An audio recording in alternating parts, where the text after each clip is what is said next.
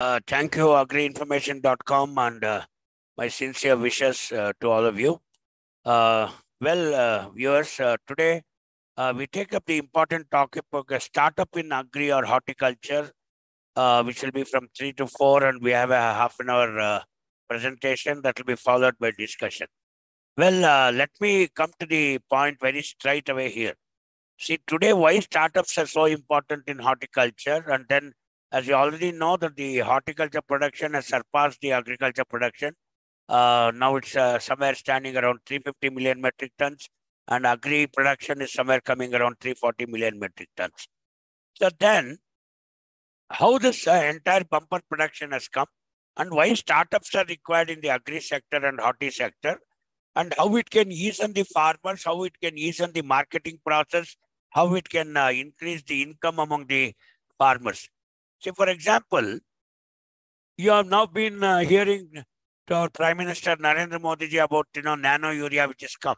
Say nano urea instead of one bag of urea which comes only with 250 ml, a small bottle of nano urea can uh, replace what uh, could have been done with one uh, 50 kilo or 100 kilo of urea bags. And as uh, Modi ji was saying, ये किसानों के लिए संबल है that means it has already brought empowerment in them and uh, it's going to reduce the transportation cost and it's also going to increase the production and so many other factors so therefore when i say startup you have a bubble you have a growth you have an ideation the incubation the acceleration and the decline i already uh, covered this in the other lectures as well so the idea with all your hard work, when you launch it and put the growth, a startup is here to give solutions to the consumers, the stakeholders, and so on. It is not definitely a Me Too product. See, suppose if you are, you know, preparing some idlis and chutneys and selling it on the road, we don't call you startup. Suppose if I say IoT application in agriculture, for example, in IHR, we have got the Center of Protected Cultivation which totally works on the IoT principle, Internet of Things, and you can control the humidity, you can control the temperature. We have a soilless cultivation, vertical farming, okay, and virtually speaking, we don't require any land at all to produce all our horticulture crops. That is the technology which has come, and obviously, we're also targeting the off-season vegetables, off-season fruits, because in a urban and a peri-urban area, where a lot of dwellings are coming up for livelihoods, we require these sort of things. We can't say that, you know, capsicum comes only in the Rabi season or the cold season. And, you know, peas, for example, the, the small mutter which you all uh, eat, it's actually a Rabi season crop.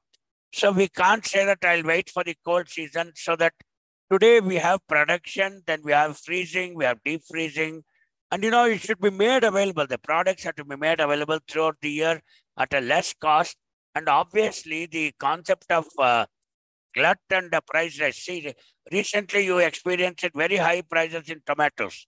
So why all this happened? Because, you know, the present tomato, which should have come in the month of June, July, uh, the sowing should have occurred in the month of April. April, as you know, is a peak summer season and lot uh, the total net sown area of tomatoes was really less. And then uh, we could not get much uh, uh, inward loads from uh, Coimbatore and all that. And we had to depend entirely on Kolar and this uh, Malur farmers for our tomatoes. So uh, th there are some local reasons why this sort of high price rise. And suddenly, you know, there's also glut. See, okay, then when when at this time you got a very high price, farmers are bound to again going for tomatoes and the crop sown area will be very high. And then in the uh, Kharif season, you experience some sort of glut. For example, in the summer season, the tomatoes, obviously because of scarcity of water, the net sown area is less, but uh, the, the output is also less, and therefore the prices are going to shoot. So somehow when I do the resource smoothing here, what I wish is that a startup is going to give solutions for these sort of things. Obviously, at a consumer side, we want uniform prices, uniform rates, and also, you know, we want the availability throughout the year 24 by 7. So this is what the consumer. So therefore, keeping the consumer demand on one side, the producers' uh, limitations on the other side. When I apply linear programming with the simplex model or the graphic method, I come with a sort of a resource smoothing, and I'm going to say that we are here to do two things in the Agri and Horti startup. One is the input factorization part, where you know the FPOs uh, who have been coming here, they should get all the inputs at a very reasonable rate without uh, the middlemen playing there.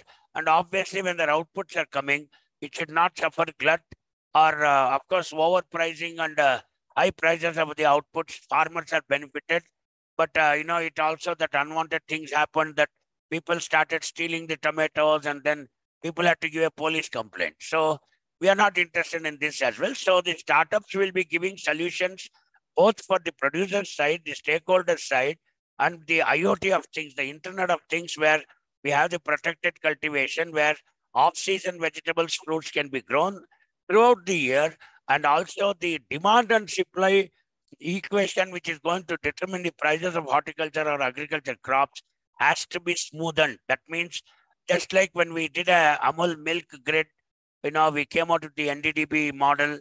Uh, that means now milk is available throughout the year. The prices are also not going to be so volatile in nature. Even to make a two rupees rise recently, the Nandini milk uh, from Karnataka had to face so much trouble. And uh, now, of course, uh, we are paying two rupees extra. So that is the whole idea of why a startup is going to come, it's going to plan, it's going to develop a strategy with so many actions, analysis, and then give the solutions. Now there are so many agriculture value chain startups. the figure is self-explanatory. Either in the, we are going to ease on the farming process, or we are going to produce more crop per drop, or we use the drone technology for spraying pesticides and then uh, capturing data. For example, when I was a consultant for IFFCO, uh, there's a Krishi Devgyan app. You can also download it, but of course, you'll require authentication from IFFCO. So where the entire uh, cultivation process, production process, marketing process, they are all based on the app. They're all highly data-driven experiments. So now even coming to the increased efficiency in photosynthesis, okay, where we talk about the C3, C4 plants. So giving innovative products, technologies, and services to farmers and consumers. This is what we are basically aiming at to reduce the post-harvest losses. And we want startups to come here. You have the Ninja Cart, you have the Vehicle. Many of my students are working there. So all these people are trying to bridge the end-to-end supply chain. That's what we say. So when they are going to bridge the end-to-end supply chain, okay, people are going to get a lot of benefits. So now very quickly going, I've already shown you this figure. Startups are using technology to provide high quality products to retailers. It may be input front or it can be an internet uh, or it can be an ICT service giving it or it can be crop sensitive monitoring with uh, you know, precision agriculture, drone technology. Okay, then it can also be the cloud seeding, and many things are going to come here. So technology is there all around. So this has to be given by a startup. It is not a one-man job. Startup is not a one-man job, although the promoter may be a single man, but it is the innovative idea which takes place. For example, we have this uh, even in a microfinance sector. See, everybody cannot approach the bank. So the microfinance has come in the name of Sagraha. That uh, one of the persons is a postgraduate from uh, Rajendra Nagar.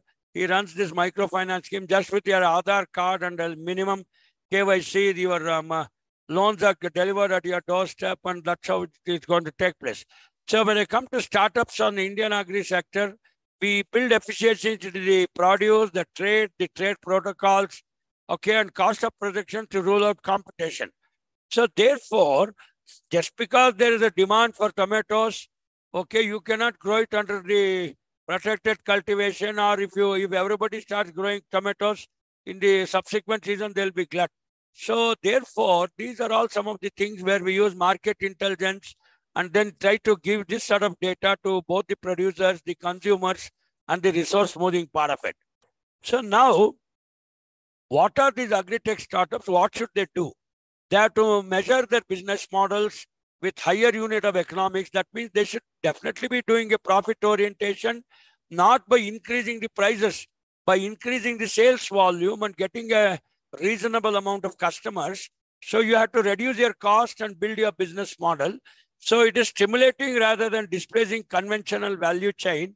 See, I suppose, you know, we also use the concept of reverse value chain. See, suppose, you know, when an input marketing is taking place, let us say by IFFCO. So when an input marketing already a supply chain network is there, why don't you use the same thing for a reverse output marketing as well? So since small and marginal farmer constitute about 86% of the population, the solution need to be inclusive.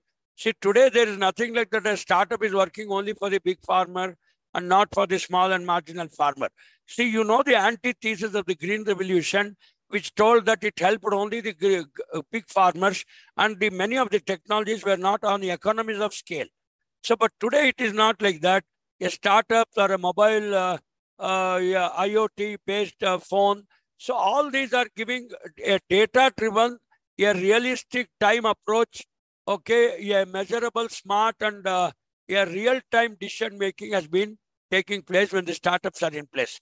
See, now I will give you some examples where uh, both in India and abroad, how some of these startups are working. For example, there's a startup, it's a UK-based uh, startup, Sauce Bio, who uh, develops sustainable agrochemicals, something like our uh, nano urea coming from IFFCO. So today, you know, many of the soil application things have become foliar application. See, even in IHR, we have got a foliar application for mango.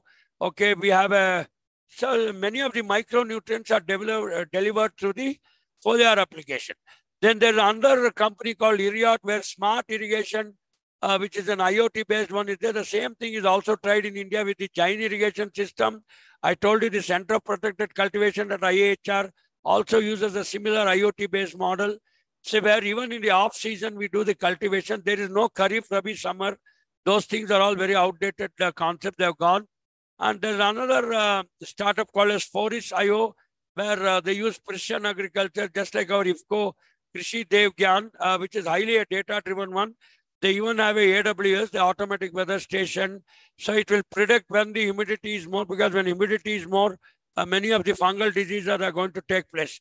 So uh, recently we had an experiment at Koppal where 500 farmers, uh, I had used the biofortified Bajra HR 1000, which is from Harvest Plus. See, normally in Bajra, you get about 40 ppm of iron, but uh, in the fortified Bajra, we get about 100 ppm of iron. So it is not only going to, uh, you know, give solution for the pregnant women, lactating mothers who are highly anemic. So these are all some of the low-cost uh, solutions where not only at uh, plant breeding variety, but at the same time, you know, when I say Gyan, Vigyan or Abhiyan, say the science has to be taken through the agriculture extension system or a technology transfer system.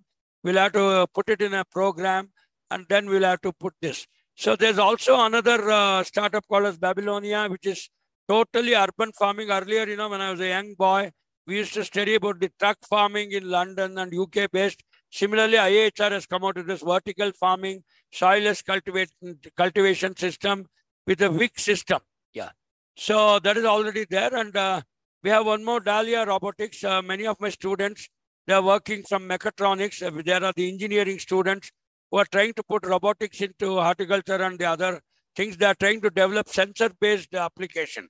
See, for example, if it's uh, a land, they will tell you what is the moisture, what is the field capacity. Suppose if it's a leaf uh, sensor, it's going to tell you whether the leaf is flaccid or uh, there's enough water in that and what sort of precautionary prophylactic measures you'll have to be taking. So now, uh, friends, uh, recently I also gave a national webinar on the same topic. Okay, and then um, uh, that's one of the book which I've written on farmers empowerment and entrepreneurial development FPOs and startups. I'm the first author. And that is the book. This costs you around 3,600 rupees. Uh, if you need, I can even share the free PDF copy for you for your benefit. So all the, all the things I've been speaking here, uh, yeah, you can give my team, huh? You can give my tea here. So all the things which I've been uh, discussing here right at this stage is available in this book. You can always get back to me and we'll continue. So these are all. Uh, so earlier, you know, we have come out with a lot of innovative products. See, especially startups. Many of our startups have taken this jackfruit seed powder, mushroom powder base. We have a Arka chocolate at IHR. Yeah. And then uh, we also have this mushroom powder.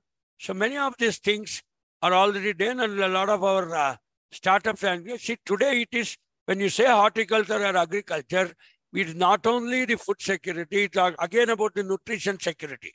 And the nutrition security is delivered to a startup. They take a license.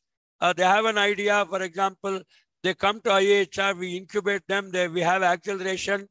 And, you know, we also produce all the Arka microbial consortia. These are all the Aragon, Aracle organics and biofertilizers sold through our ATIC. Okay, a lot of demand between the business planning uh, people. So now, ultimately, when I say an FPO or a startup, what I'm actually trying to do is to build a social capital vis-a-vis a market has to be developed. That's what I want. We want startups to do. See, the production front, we have umpty number of people. There are so many people who are producing the things, but there are not many people who can take it through a supply chain and then you know distribute it in the market and make people aware of it. See, that is where the FIG, WIG, and SIG comes. FIG is nothing but the farmer interest group, women interest group, and the commodity interest group, who are again clustered and they, they can also become startups. Okay, and a startup can also service all these people, taking consuming through the local markets and the urban markets, and also reaching the global market. This is what basically a startup is going to do. He's going to build my market. See, today, you know, Bangalore has been a hub of so many startups. And uh, we have one startup who has become a unicorn, which is again,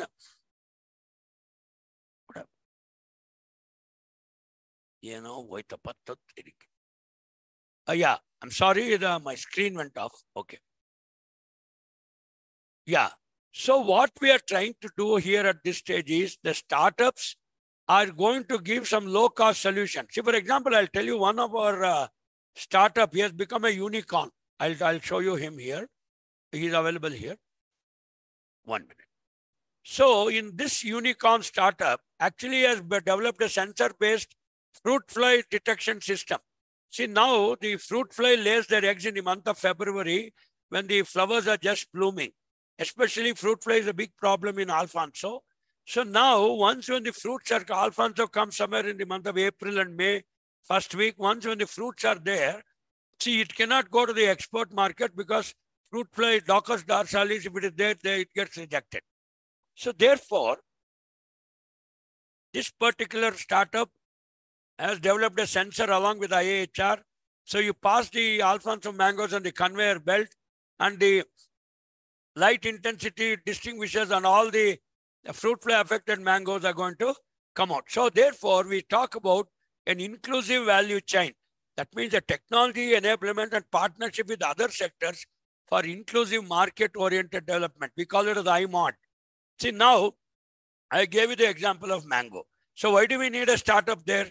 it is not that in palace grounds the fellow dumps all the mangoes and you bring all the Alphonso and then finally they're all fruit fly affected. So now, once when this particular sensor developed system is going to be used for screening the mangoes, you can deliver a, definitely a high value mango, okay, to the people.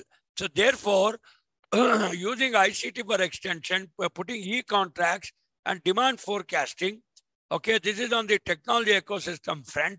And then obviously on the marketing front, we got to do the processing and branding, a supply chain management, and obviously the MOOC sort of a system, okay, a participatory online massive uh, courses are there. This is how both the rural youth and the urban consumer and the farmer, we are going to improve their awareness levels. See, today, you know, you cannot do marketing with ignorance. Of course, uh, ignorance may be a bliss or it is a bless. I don't know about that. But people were using ignorance to sell a low quality product. See, today it is all a very high value, high quality product. And with high awareness, you have to sell. That means no longer you can do any cheating. Okay, and you know, our consumers are also highly aware. That's what I talk about when I say inclusive value chain. Startup integration is the current situation is integrated. That's why a funnel is shown here in the figure. You bring the change, the innovation, and the intervention, and we reach a desired situation. See, today you go to a supermarket. See, no kachara, nothing. Everything is neatly, you know, packed, graded. Okay, the price tags are there. The RFID tags are in place. Uh, when it was packed, see, you can put a wrong date on a packet, but you cannot put uh, cheat the RFID. It will say that this particular pickle or this particular product was uh, processed in so-and-so address on so-and-so date, and that is the batch number. So that much of awareness just by the click of this uh, infrared gun, which everybody is having, a QR code is there, the RFID tags are in place, so people can find out, and that's what the startups have been doing. See, you imagine if I can simply uh, put a QR code and I use your RFID tag to find out from where the uh, you know the rotten materials or the substandard materials that have come. I, as a businessman or as a supermarket owner, can easily find out, and I can simply delete that particular supplier. See, suppose earlier days it, it, it was not known.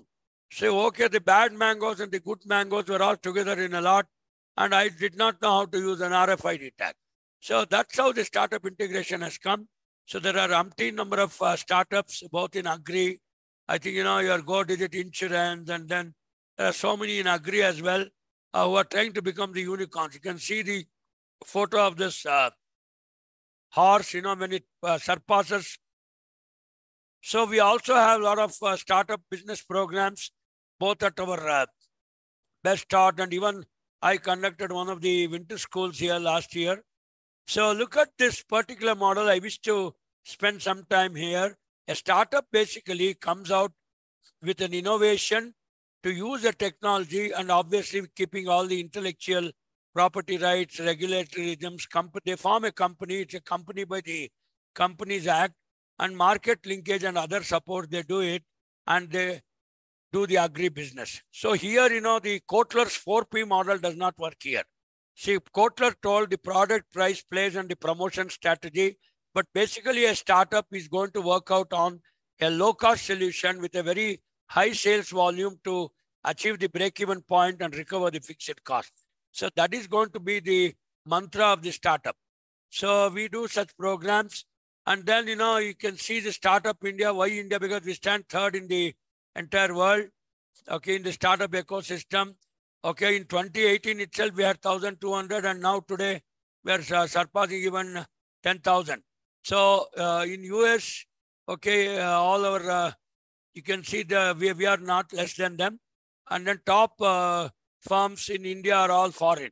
Okay, especially the VC firms, the value chain firms. They're all coming from India. The, you know, the Google CEO is our man. And then the Microsoft person is our man. So many startups. See, one of my cousin brothers, that fellow was a PhD in uh, PhD in uh, nanoscience. Okay, he was in the uh, electronics and nanoscience guy. He's a PhD from Purdue. And that fellow was an associate professor in Rice University. Today, that fellow resigned. He's now starting up a small startup, you know, especially for the sensor-based uh, nano systems. Uh, he has his company at Pina. So that's how you know, once when the startup capital is in Bangalore and Delhi and so on, people are also venturing. The people no longer depend only on those cozy and uh, pushy jobs of lakhs and things like that. So it's not just earning money, but reaching a larger audience and uh, you know painting your success stories on a larger canvas. I think that is what the startup mantra is going to be. Continuing further, in converting an opportunity into profit is called the startup. See now, yesterday I was taking a class on plant breeding, you know, especially participatory plant breeding. This is where extension comes into plant breeding. Traditionally, the breeders have been collecting seeds and all that, but when I, when I talk about participatory plant breeding, which is going to become a startup, we extension workers are going to mobilize the 6 lakh 40,000 villages in India with all the villagers and, you know, already they have some local knowledge. They're already preserving their seeds. So we are going to make what is called as a national participatory seed grid. So now, you know, we have the NBPGR, the National Bureau of Plant Genetic Resources, which of course does to a small extent on the in situ and the ex situ conservation of plants. But that's not enough for a big country like India. And that too with a very rich diversity. Today, we want many of our plant varieties to be not just nutrient sensitive, but they should be climate sensitive. In order to achieve this, to go and promote the natural farming or organic farming, see, there are so many varieties. Okay, there are so many varieties. ಎಲ್ಲಿ ಹೋಗುತ್ತಪ್ಪ ಇದು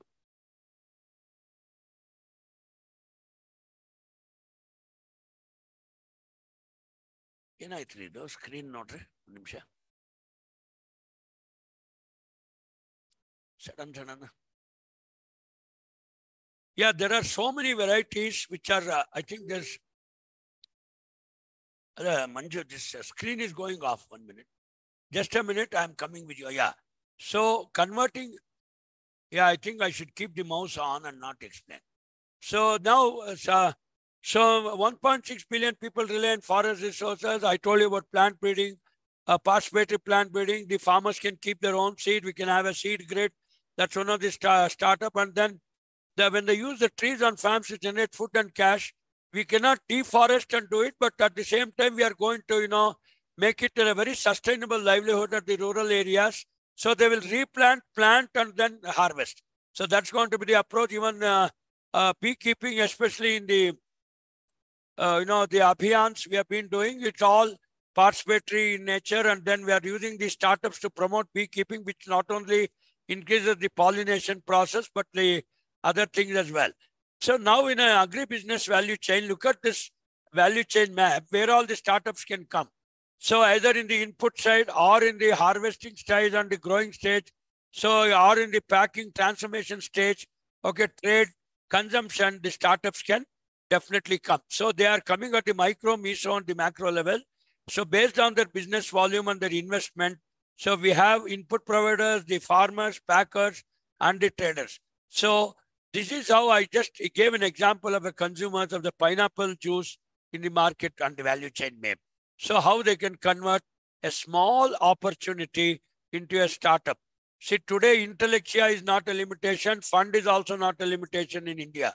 Gentlemen with so much of diverse knowledge and all that, we have been doing this job. I'll just give it here. So the father, Steve Blank is called the father of startup. So he has written a manual and we can share it. So startup refers to a young company. We already told this. Okay, so that the innovative idea is more important here.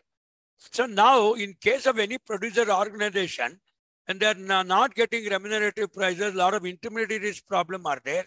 So when their uh, knowledge base is also poor, so it is a very distressed sort of a situation where a startup has to come and then, you know, solve these problems. So startup is not only solving your production problem. Startup is also solving your employment problem, is solving your funding problem. Okay, it may be a pitch funding, especially with the angel investors or a bootstrapper or a crowdfunding. So you get funds. So today they are all available. The ecosystem is in place, but how long you will, how you will take advantage of the ecosystem for the startup is a challenge in horticulture and agri. So now you know we are we have been providing uh, startups, uh, been giving a lot of uh, hopes and input supply. There are startups in credit. There are startups, umpteen number of startups in agro advisory, procurement, market support. Of course, warehousing is another area where a lot of startups have come. In processing and value addition, they're again there, and export houses. Research linkage also we have, and certification, especially when it comes to organic. We have a lot of people to certify and help them. Input factorization is there, but no output commercially. I made this point in the beginning. So today's startup will focus on Gyan, Vigyan, or Abhiyan, knowledge, science, and campaign. You will have to promote many of these things for which startups are required. Only the ICAR institutes, agriculture universities, the 725 odd Krishi Vigyan Kendras alone cannot do the job. We require other people as well as the actors in this value chain. So why startups have failed? Very, very important slide. See, many of the startups, see, especially 42% people have started a top startup when there is no market need. How, how many pickles are you going to prepare? How much of juice are you going to prepare? Then their business model, they run out of cash. That means their capex and opex problem, have invested too much of money. And that is not the right team. I see many engineers coming into horticulture startup just because it looks very fancy. So there is no backup. That's not the right team. They get out competed because your product is a Me Too product. See, instead of preparing a pineapple juice or, you know, what I'm having here is a bale juice. I think Feronia elephanta, bale the anno, wood apple. So IHR has produced wood apple, plenty in number. See why everybody goes only to mango juice. Why not this pale juice? See here, Feronia elephanta. So like that, you should come on. Even kamalam fruit, the dragon fruit juice we are trying to prepare and market. Not only preparing a fruit, but why don't you biofortify this as well? When you biofortify, the value is going to increase. It is going to uh, solve many of your nutrition and vitamin problems. Pricing is another issue. Either they are too overpriced because uh, they, they are not able to achieve the sales volume. And then the poor product, uh, you know, normally everybody gives that a juice is, uh, you know, valid for six months. Of course, without preservative, no um, sodium benzoate and uh, all those things or potassium uh, bichlorate. So without the preservatives, you should be able to do. It's a poor product. And there is no business model at all. See, either the B2B, B2C, or C2C, or network marketing. People are very good at producing. See, even today, I find people on the road selling onions. Three kilos, 100 rupees, I saw in the morning. I said that means that, no, no, I'm not blaming the farmer or a startup. That means that fellow does not know how to integrate a, a market with him. He does not have a buyback. He does not have a pre-hedging contract. So that's the reason uh, they have failed. That's all. Otherwise, you know, simply shouting on the road, 100 rupees, 3 kilos. So this is the Indian startup scenario. Uh, of course, Karnataka, Telangana, Maharashtra, Gujarat, Uttar Pradesh, Haryana doing a very good job. Tamil Nadu also, whereas the other ones not so much. Because of the ecosystem and the government uh, involved there, uh, they are not getting much promotion there and especially Bihar, uh, Chhattisgarh, all Naxal affected and Manipur violence in the northeast, Rajasthan, not only the desert. So the Indian startup scenario tells me two stories. It is the ecosystem which is responsible for the promotion. It is not just the geographical area. For your kind information, I want to share that. Okay, I want to share. I don't know why my screen is put to. My screen is going off one minute here. What is the problem? Yes, sir. Yeah, I just said so. No, no, why my screen goes? I think screensaver, some issue. Okay, I'll do it. Okay, it'll be going off. You don't worry, I'll do it. Okay, so what I'm telling to say is the fail to take off building, I told you, no, no wrong product. Though there's some issue in uh, I'll hint a loose contact area. Okay, okay, leave it, leave it. Don't don't do anything. Don't. Class is done. So not able to build the right team, lack of unique uh, value proposition, lack of persistence. Okay, no mentors or advisors. See, I'm not telling that these are all bookish things. We did document in also this particular book which I wrote. See, now a startup is based on money or it is based on an idea. Definitely, all you will say only one answer. It is based on an innovation and an idea. Your innovation and you don't have any idea at all. You are only selling idlis, but you want to call your, yourself as a startup. Where is the innovative idea there? Where is the innovative model? See, for example, if you take the mobile phones, I told you one of my cousin brothers who was working on the thing, he is, you know, some loose contact, man. No delay. Just a minute, Miles. Page down, please.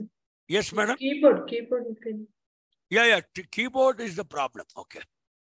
Yeah, I think I will. Uh, the keyboard, there was some issue here. Mhm. Okay, okay. So what I wish to say is, okay, now they are working out with developing a chargeable Nikon nickel ion battery, which will stay at least for one week. So whether can we develop such batteries in the mobile phones which are self-charging? No need to see many times when you go outside, you're carrying a power bank which is very obnoxious and you're not able to do anything out of it. How uh, the phone is only lightweight, but the bloody power bank is very heavyweight. So we are looking at something to do this. These are some of the innovative ideas. Obviously, business plan, there is no capex and opex issues at all. They are very high. Everybody tries to buy a land. No, you should take everything on rent. And you know, you should try to sell the idea as much as possible and not sell the any other thing. Yeah, okay. Okay. uh, I think, yeah, what has happened? One minute, Yes, sir. one minute, he's preparing. Okay, fine. So this is how we already do it, friends. Uh, I told you about the capex and opex issues also just now. So now in a, I told you the concept stage, startup growth and expansion stage. I told you we also call it the ideation, incubation, acceleration, diversification, and growth.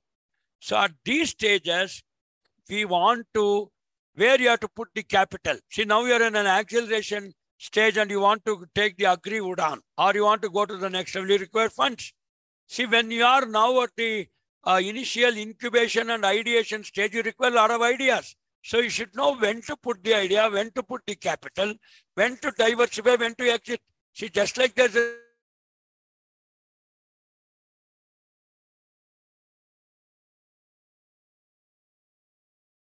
Hello. Uh, sir, we lost your audio, sir. Hello. Sir, are you connected? So you can hear us?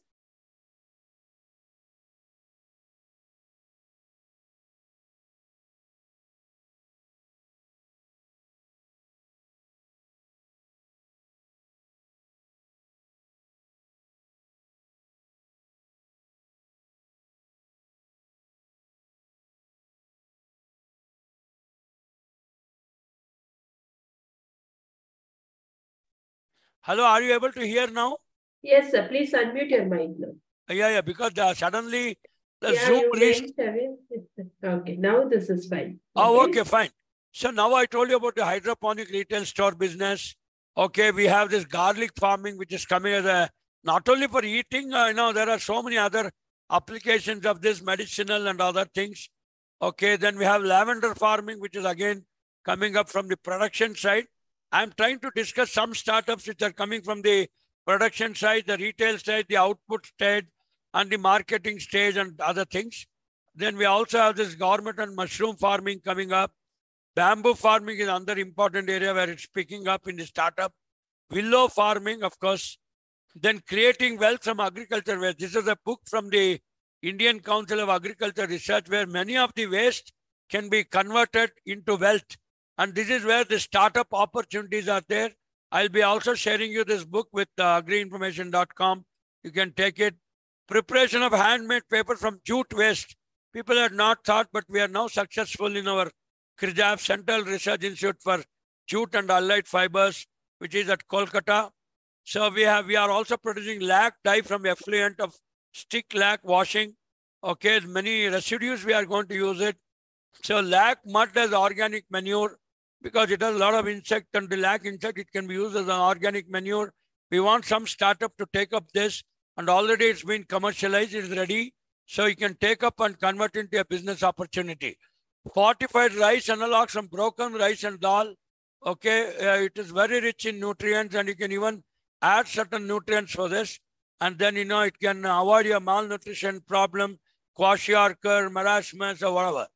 Then protein isolate from de-oiled cakes using novel process. See, for example, the soya bean, the groundnut. Okay, there are so many concentrates from the de-oiled cakes. Uh, this is not yet commercialized. It is coming from the National Research Center at Junagadh on groundnut. So somebody can pick up this and then, you know, you can uh, make a very high protein. You know, our DFRL works on this particular thing. The Defense Food Research Labs, which produces high protein concentrates for our soldiers. And uh, even you can use it in our uh, child food and uh, chocolates and all that. Soilless planting media using sugar residue industries. See, you know about the cocoa peat farming and the Arka fermented uh, cocoa peat. We can also use many soilless planting media. Sugar industry has got a lot of residues like molasses and so on and so forth. We can put 25% coir pith and dry cow dung and then, you know, we can neutralize the acidity by further enriching with neem cake and biocontrol agents. And this is going to be a beautiful uh, fertilizer uh, at a very low cost. Bioreactor with microbial consortium to recycle food waste using rapid composting. They see a lot of food waste are generated from the hotels, uh, the hostels, and so on. So instead of you know uh, throwing them here and there and soiling the uh, place, you can use a bioreactor and recycle this food waste, and you can uh, convert into a beautiful compost. See, even such things have been coming even in the Swachh Bharat Abhiyan and many things. So not many people are coming and uh, slowly, you know, I see some two, three startups, they were engineers who have taken up this. See, wherever all the waste products are dumped, so they will come and pick it up. They will segregate the waste and convert into a beautiful compost. See, for example, um, net vessel compost technology for recycling kitchen waste. See, especially in uh, inland, inland fish farming and all that, all the earthworm species. So many of these things, okay, we call it the family net vessel and uh, biocomposting technologies using uh, a small uh, carrier, three into two into one meter, and then you can ferment it. And then you can also use, see, there are two types of fermentation. One is the aerobic fermentation, the other one is the anaerobic fermentation. See, many times all this uh, poultry waste has to be done anaerobic fermentation. If you do aerobic fermentation, it will burn your uh, roots and all that. We should be very careful which composting takes the uh, aerobic fermentation, which one will take the anaerobic fermentation. Tamarind seed husk, which reduces enteric methane emission, also can be used. So there's a patent with ICAR. Okay, it has tannins and very effective in the modulation of rumen fermentation. See, especially, you know, all these things are very important. Oil palm factory waste for mushroom production. Okay, you can use them. Animal feed from potato waste. Okay, excellent potato feed enriched also. Paper plate from natural fiber biomass. You see many of these plates already in the market. CIRCOT has developed a technology uh, production for the disposable paper plate from banana, pseudostem, and sugarcane bagasse. You know, very important. You can use them. Coconut waste compost, a soilless medium. Okay, this is another good area where startups have come in, the agri and horti. See now, you know, this patchouli oil uh, is a very aromatic oil. And then once you distill it and uh, extract the essential oil, okay, you still have some distilled waste, spent charge, we say, which can be used in the manufacture of agarbatti. Very important uh, things. Extraction of virgin pomegranate seed oil, very rich in vitamins. Okay. And then uh, you can also say uh, pomegranate seed oil rich in linolenic acid. So many such things can become startups. And already the commercialization has been done by ICAR. License has been given. They come to the business planning development unit. They incubate here. We give a license, a very nominal license fee. Organic manure from fish waste is another important area. Aquaponic system for production of plant biomass. See, look at this. Without soil, okay, you can use the ProTrace and develop all this plant biomass and you can make a small nursery for yourself. So, okay, friends, क्या हुआ?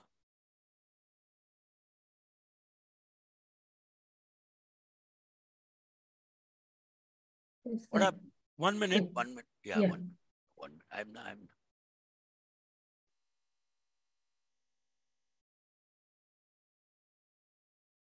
Yeah, uh, these are the state-wise data of how the startups, the FPOs have been taking place. Okay, and then uh, these are all the transition to coordinated surplus farmer. So there's a small book called as Energizing Infant Farmer Producer Organization. We told you about the production.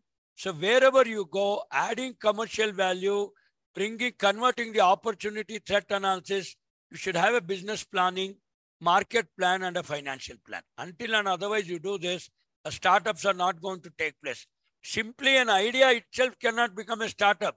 See, someone has to work hard, they should put the DPR in place, that they, okay, detailed project report, their business plan, marketing plan, and so on. Okay, so we have already discussed this. What happens in the incubation stage and the other one at the maturity stage where the business expansion has to take place. People are very good at the pilot scale. They will start selling a, uh, a pickle just for 40 rupees or 30 rupees. But when you upscale it, the other problems of supply chain and value chain and the network problems are going to come. You're not going to be able to handle all these things. So every FPO and startup will have an agri-business promotion unit, which is actually going to do a research and find out how much of fund has to be put, which, which technology has to be brought in. So whether the technologies can reduce the cost of production or it's an innovative product, all those things is going to be taken care by the agri-business and promotion units. And then uh, linking and syncing with the actors in the supply chain and value chain and having a marketing network. Okay, That is where the crucial role plays for the startup. Startups are very good. I told you at the pilot scale. But when you take it to the next scale, I see many of my incubators in the ATIC here who are struggling to take to the next level, to the sales. Okay. So credit linkages, it is after the ABPU, before the ABPU. So you should also have uh, linkages with credit, the state grants and all that. And you know, today any startup is given minimum 5 crore rupees, especially the Agri Infrastructure Fund, 3% interest. So tap these opportunities. If you don't know how to tap the opportunities, you're not there. So therefore, a business plan. So technology, credit access, market linkage and schemes. And obviously this GST filing with the 12th of every month, you'll have to do all these things. And that is how you take your business forward, especially GAP certification, good, agri good agriculture practices certification is a must. So, okay, then you can take decisions and do all that. Market linkages, we've already discussed enough. So, okay, you see some of the FPOs and startups which are linked. See here, UPL, okay, Leaf Vehicle, these are all startups, Mother Dairy, Big Basket, okay, Sufal, ENA, all are linked here. Even IFFCO, I told you I was a consultant for IFFCO, even now I work there. So output linkages after the agri business planning unit, it should increase. Many times it has increased. This the study which is told, and definitely a startup can have many small, small outlets, uh, which is outsourced to an FPO. You sell both input and also procure their output. And this is how the output uh, procurement chain is going to be established. And uh, many companies like IFFCO now have already done it. I told you it's called the reverse uh, supply chain. So when you have already got an input supply chain, the forward chain, you can also have a reverse supply chain and procure the inputs and also do the output marketing. So both in terms of input factorization and output commercialization, we have been doing it. So Dhanlakshmi, how much time do I have? I have under 10 minutes. Uh, not... Sir, I, I would like to take up the questions also, sir. We have completed 47 minutes. Okay, fine. Quickly finish. I, 10 minutes, I'll take up questions. Okay, no problem. I'm finishing in one more slide. Okay. So we'll, we'll, we'll quickly go to the... So all these things are there. I'll just come to the, the other one. Okay, one minute. Yeah, this is the last slide. So friends, uh, to again begin with, I again reiterate and again confirm what I told in the beginning. A startup runs with an innovative idea, number one. Number two, it works on the sales volume. It does not work on increasing the cost. Third is it tries to give solution either through IoT or through ICT or through a market linkage or through financial things and so on and so forth. Without giving a solution, a startup cannot exist. So startup to conclude, startups and only an entrepreneur. There's a lot of difference between startup and entrepreneur. Entrepreneur is the one who takes risk. Startup is the one who uses an innovative idea to grow not only for himself, but also serve the stakeholders at large. So thank you very much. I'm going to end this slideshow and we open for questions. Thank you, sir. Uh, thank you very much, sir, for a wonderful presentation. I will take up the questions from the participants now. Uh, yeah.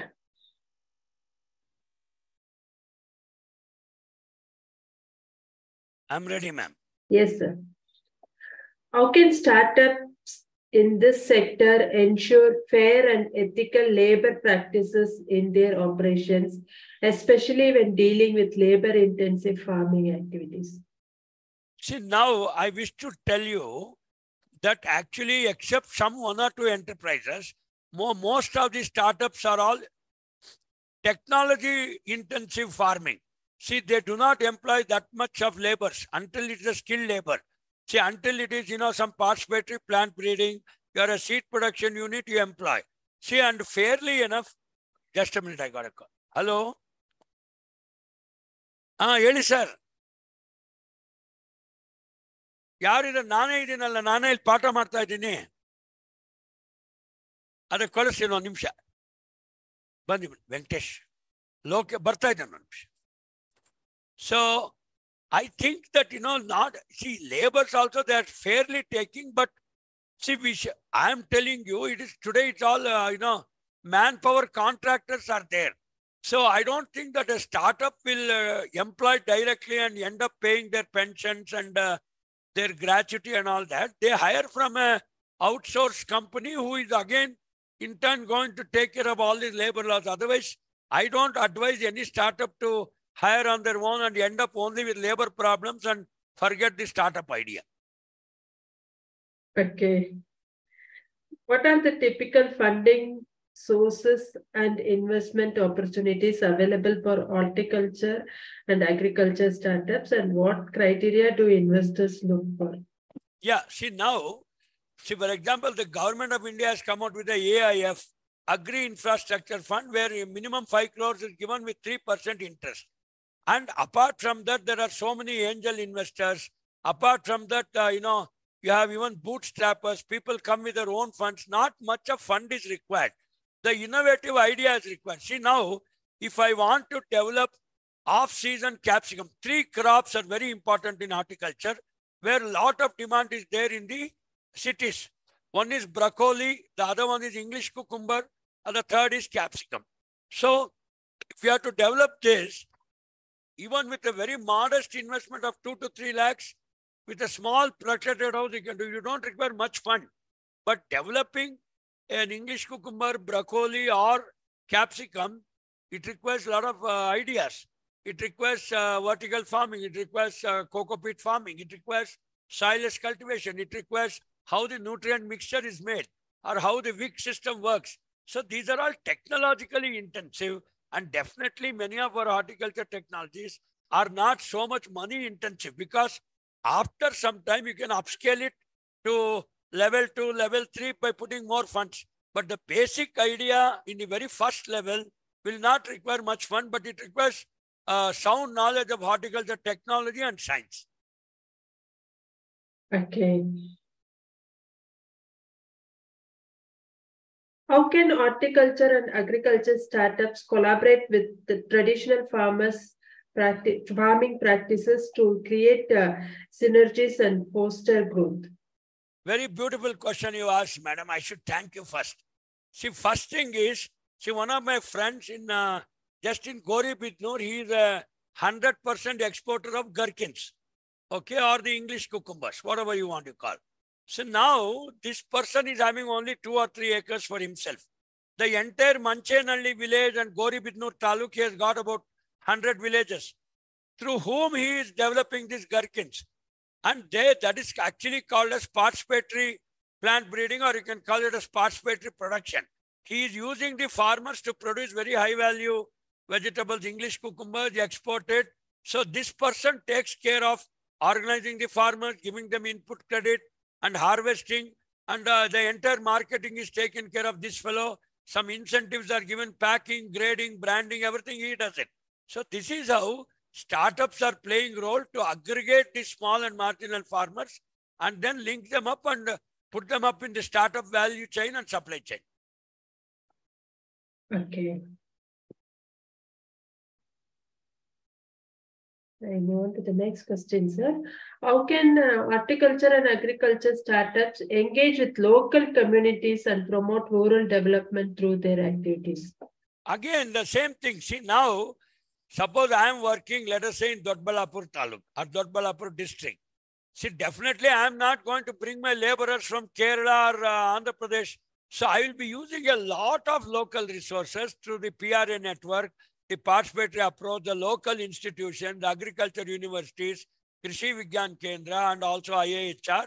And I see that the law of the land and the law of the local is taken care.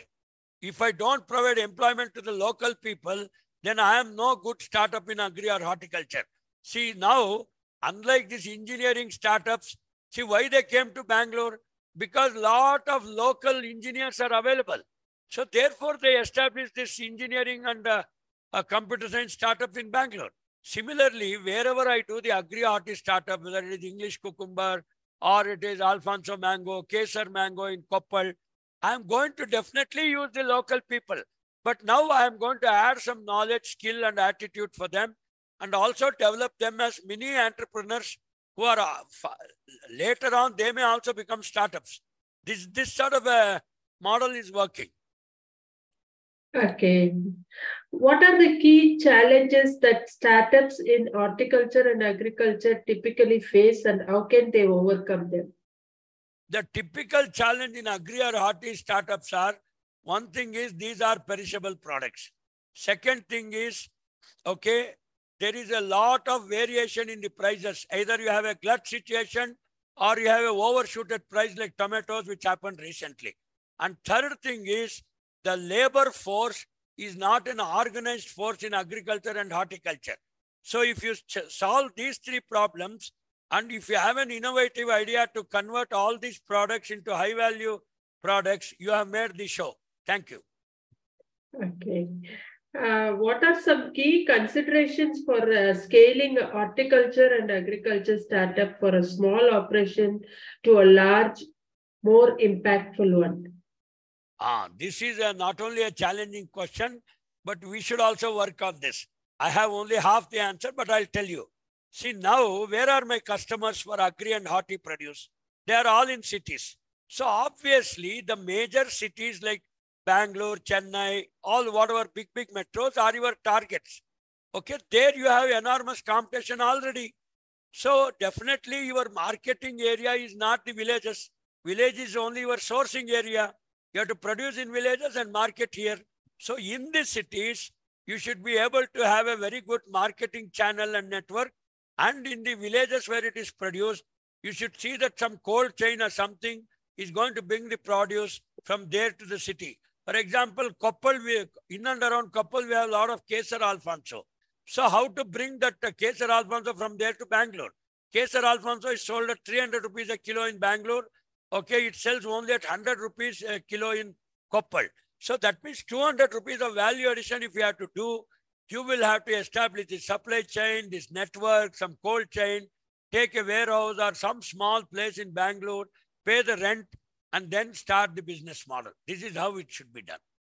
Okay, I go on to the next one, sir. Uh, can you share some uh, success stories of agriculture or horticulture startup that have made a significant impact in the industry? Yes, for example, I told you Waycool is a startup. Okay, then uh, Sagraha is a microfinance is a startup. Okay, I can go on giving examples after examples. See what Waycool or uh, anything where my students are working is they, they do the procurement in a cluster of villages and I also give them input credit, get the production done. And afterwards, the entire marketing through the warehouses, through the uh, mini markets are all done like that. See, for example, even Amazon Foods, so where my student uh, Anjali Sati is one of the CEOs there, she works in Bangalore. That's what that girl does. So she has already outsourced all the production in many villages. People are going here and there and getting the production. She does only the marketing, packing, especially through Amazon Foods, which is a very popular thing in the app. You can also see Big Basket is doing the same thing. Okay, and then uh, we have so many other small, small uh, um, way to home. Big Basket is one important thing. So the, all these are all aggregator startups who invest more on the ICT part and doing the marketing part, but the um, uh, products come from the village only. So to do this also, it's a Herculean task. Okay, thank you very much, sir. We have now completed the round of questions on behalf of agricultureinformation.com. We like to thank uh, Dr. V.K. Jayaraghavendra Rao for the talk and for answering the questions. We like to also thank all the participants in this meeting. This meeting will now be closed. Thank you. Thank you, guys. We'll meet you second time. I'm leaving the meeting. Thank you. Yes, sir. You're welcome.